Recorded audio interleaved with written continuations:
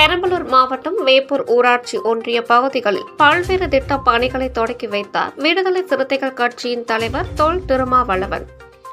பெரம்பலூர் மாவட்டத்தில் சிதம்பரம் நாடாளுமன்ற தொகுதிக்கு உட்பட்ட திருமாந்துறை ஊராட்சி கீரனூரில் பத்து லட்சம் மதிப்பீட்டில் தார் சாலை அமைக்கும் பணிகளுக்கும் நோவா நகரில் நாற்பது லட்சம் மதிப்பில் சமுதாய கூடம் கட்டுதல்.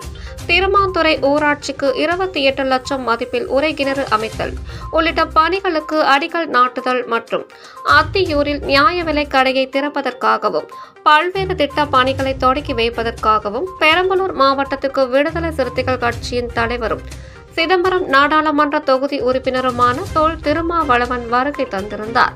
அப்போது அவருக்கு நிர்வாகிகள் தொண்டர்கள் சிறப்பான வரவேற்பு அளித்தனர். மேலும் இளைஞர்கள் தொண்டர்கள் பொதுமக்கள் அவருடன் ஆர்வத்துடன் செல்ஃபி எடுத்துக்கொண்டனர்